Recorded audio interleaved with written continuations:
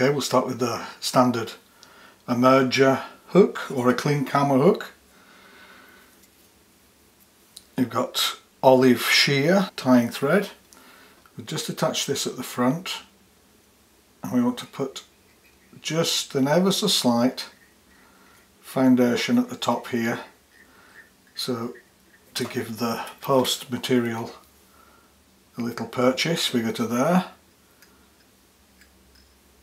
and then come back two or three turns. Uh, for this size 10 we need two strands of parapost. And what we want to do before we put these in is we just put the two together we give them a little brush. You see that the fibres tend to get knotted. So we just give them a little brush to open the fibres up like that. And what we want to do is leave enough out the back of the hook that we can grab hold of it. So we go over two or three turns, just check that it's in the right position, that's good. And then we'll go back, nice neat touching turns. And just as it starts to go down the bend, open up the fibres at the back, and take our scissors at an angle we want to trim this to a very fine taper like that. This will give us our body shape. So we spin our tying thread anti-clockwise to flatten it. And then we just work our way slowly back over the ends here to get the taper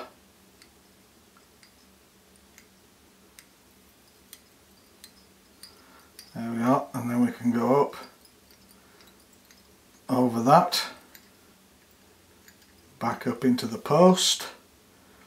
And look at the post. That's good for this size. Maybe a couple of turns just to bring it a little further forward. Then we go in front just as a stopper. And then we go back down and just make that taper a little more easy.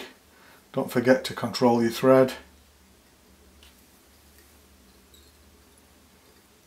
Just go down now. Right into the bend. This Originally this was tied on very big hooks, on size 6 hooks. Uh, for fishing grayling here in Norway. Uh, then we want to need some super fine dubbing. Uh, you can choose whatever colour you want, but olive, brown, grey are all good colours. So I'll take some light olive and we'll just start that off up here. Now we want a really nice taper on this starting super fine and getting thicker and thicker as we go up towards the thorax. So we'll just make a couple of turns to catch in those first fibres like that and then we'll twist all this up once that's anchored against the hook shank. Now you can dub this so it's just a regular smooth body like the image in, uh, in my book. Or you can do it this way to give it a segmented body. So we just twist this up nice and tight. Then if you're doing it this way and you don't have a rotary vise what you have to do is you have to hold on to the dubbing and you have to go around like this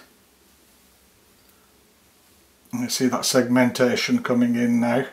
But if you've got a rotary vise what you can do is twist up the dubbing nice and tight and just hold it. Move that a little closer.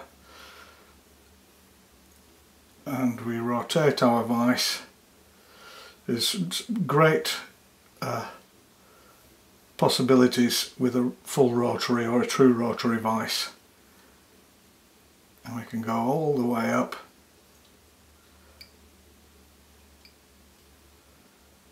And you see the body getting the nice taper on it now. We go all the way up here. I'll just tighten up that last little bit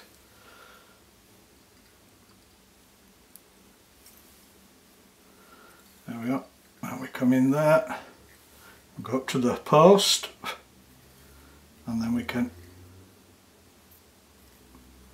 begin to wrap take hold of the post. Once again we can control our thread here make it flat then we'll cover more of the post, post base. Now this is base is so you have something of a solid foundation to wrap your hackle on later so we go up here and on a size 10 like this we need a a good hefty hackle to get it to float correctly. once we get high enough up and you've got enough space here to wrap your hackle, what we do then is we wind back down like this and we can go in front just support that. Then we want to go back here to there. And I've got two peacock and I want to tie these in at the rear here for the thorax. I just go in here like this. Now I like to use silver or golden badger hackles on my larger Klinkhamers and we want to tie this in with a cross in tying so from right left to right right to left. And then we can come in here and we can go up the stem again, the wing base, securing the hackle and then back down. And then we come under and we lift the stem, go forward. It's a little too long so we trim that off. We finish at the hook height, then we take our peacock herl and we can wrap the thorax starting right at the back close to the abdomen. A nice bushy thorax on this big fly. Going front to the post, forward,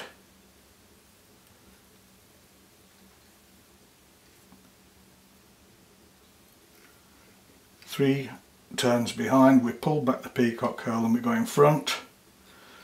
Three or four turns, this will lock it all off.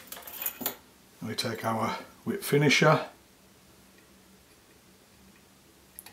Put one whip finish in.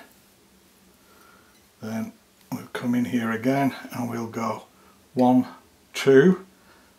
Remove the arm but keep the hook in there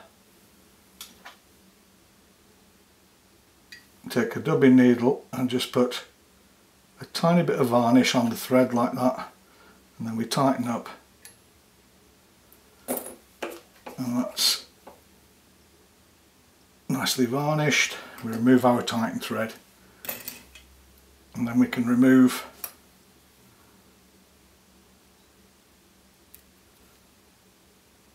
the surplus peacock herl. Take our fly and we turn it around in the vise so it's vertical, tying thread again. Go onto the post.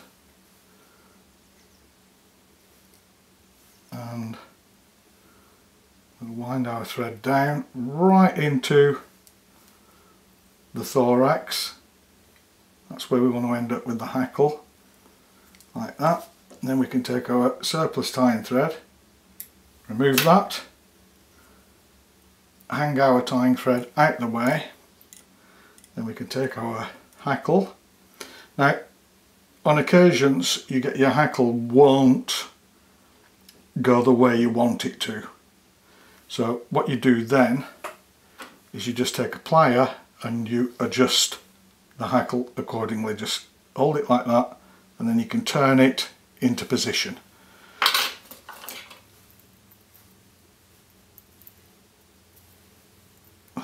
A hackle plier now before I go in with the hackle plier what I want to do about here is remove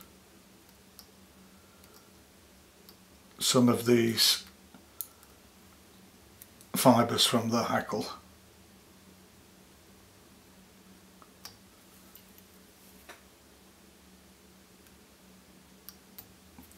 This will give me a nice clean stem to tie off on. So start right at the top of the post and each turn has to fall tight into the previous but underneath it and I prefer a little larger hackle on my uh, parachutes especially on the emergers than recommended normally I feel that they uh, they give a better presentation and a much better float much longer. Now you can see I'm coming to the end of the hackle and there's the bare stem. So now I can release my tying thread, go underneath all the hackle points, same on the other side. Once I've tied that stem off from above I can go in underneath the stem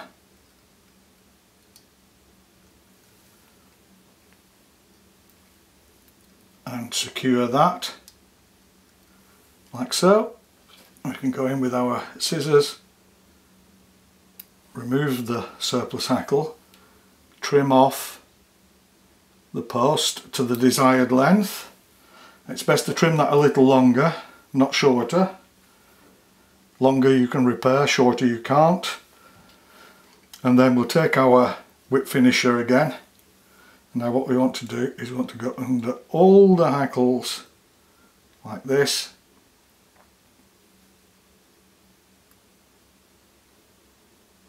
On each side. And again before we tighten. Little varnish there. And pull it in. Can give it one more just for safety's sec, go under,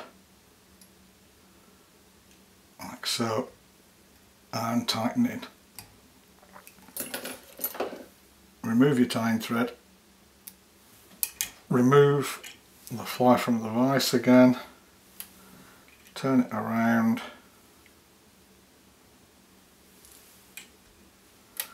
and that's the finished Klinkhamer.